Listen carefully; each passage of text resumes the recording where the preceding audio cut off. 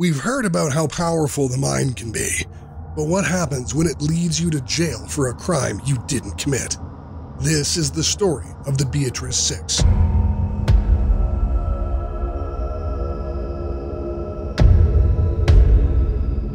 It was a cold February morning in a small farming town in Nebraska when Helen Wilson's sister found her dead on the floor with an Afghan tied tightly around her face and her hands bound.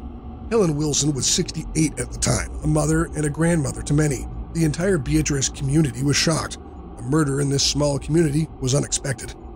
It's one of those towns that everybody's got a friendly hand. Beatrice is basically the only place I've ever really known or wanted to live. The crime scene was hard to take in for this innocent poor lady. She was still wearing her blue nightgown, and there was blood all over the mattress, on the wall, and even in her underwear. Someone had brutalized this old woman, and the only clue that the police had so far was the blood all over the scene, which turned out was not all hers. But whose was it? Some people had already made up their mind who had done it and why they had done it. If people had knowledge, I mean, they ask for it. If you know what went on, if you know something, if you suspect something, please come talk to us. Don't just blab it out. Come talk to us. Let us work with it. It was clear that there was some struggle. This seemingly defensive little old lady fought back and made her attacker leave behind DNA. Let's take a look at how an open shut case became a far more troubling mystery. At around 9:30 a.m. on February 5th, Helen's sister was off to visit Helen. On getting into the house, she met the shock of her life. The lifeless body of Helen that had been stabbed severely, but worst of all, she was suffocated to death.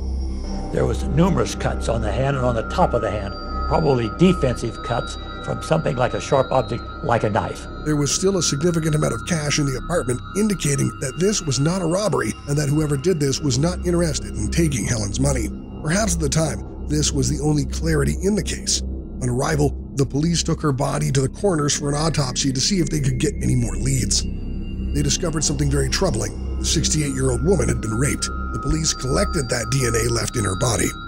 Notified by the hospital that they had found very active semen in both the vagina and the rectum. During an initial survey of the crime scene, investigators discovered even more blood on her bedding and some on her clothing. Police also found three fingerprints in her house one on a knife and two on a doorframe. The investigation was opened immediately by the Beatrice Police Department, but with all the evidence leading to no one, no arrests were made. So, how did this case eventually lead to the conviction of six different people for the murder and rape of Helen Wilson?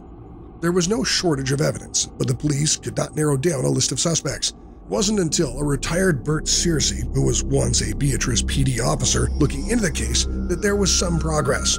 Burt found a local resident that claimed to know something about the perpetrator. 17 year old Lisa Podendorf, who was a local resident at the time, claimed to have seen three people Joseph White, Tom Winslow, and JoAnn Taylor pull into Helen's driveway on the night of the murder. In addition, she claimed that on the following day, JoAnn Taylor confessed to her that she and Joseph White had killed Helen. As Searcey was not an active officer at the time, this could not be considered an official part of the investigation. Of course, at that time, I wasn't on the police department, nor was I a law officer. I was just doing my general work around my farmstead. However, when Searcey joined the sheriff's department, he decided to enlighten the others on what Lisa had told him about the murders. White, Winslow, and Taylor were brought in for questioning. During the series of questioning, Taylor admitted to participating in the crime and even brought up another accomplice, Cliff Shelden. The police arrived at Cliff Shelden's house to question him, and he accused his wife, Deborah, of being present when the crime was committed. When Deborah was pressed by investigators, she admitted to being there, along with another man, James Dean. So, after all the finger pointing and open confessions, it wasn't long before all five of them were behind bars for the death and rape of Helen Wilson.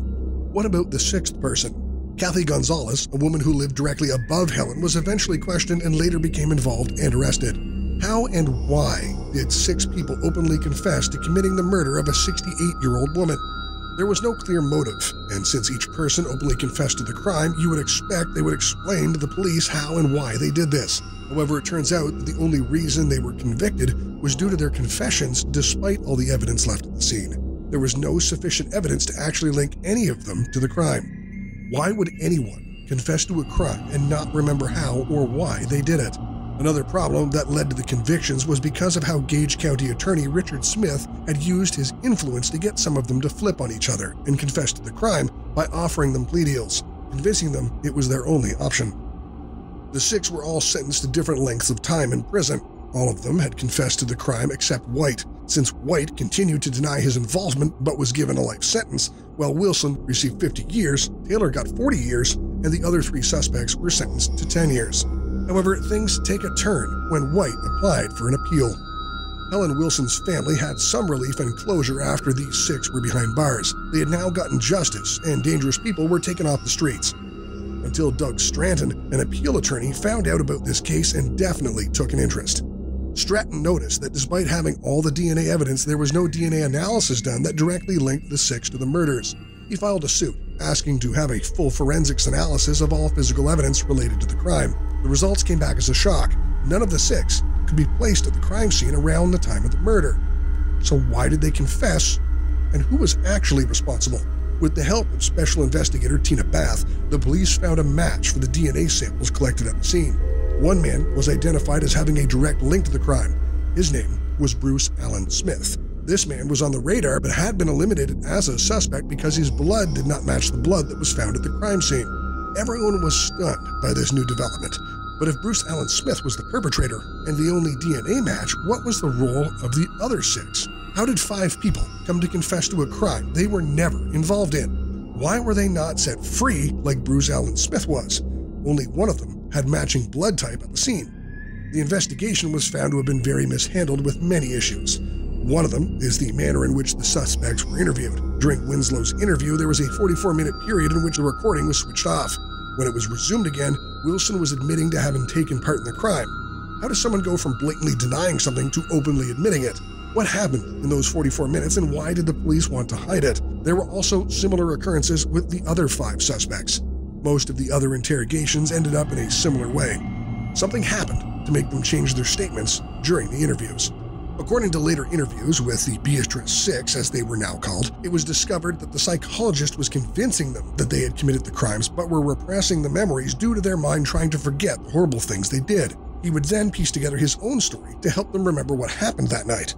The name of the psychologist was Dr. Wayne Price, and he was brainwashing them into believing they had committed the murder. Despite varying accounts of the crime by the suspects and no concrete evidence linking them to the crime, they were sentenced to time in prison. Hypnosis has been used on a possible witness. Dr. Price is a local psychologist, is conducting the hypnosis sessions. Although an argument could easily be made for the police due to the lack of DNA testing in the 1980s, the original court decision was reversed in 2009 after several attempts by Joseph White's attorney. Ultimately, the Beatrice Six were set free and awarded $28 million in compensation for being brainwashed into confession and losing years of their life for nothing.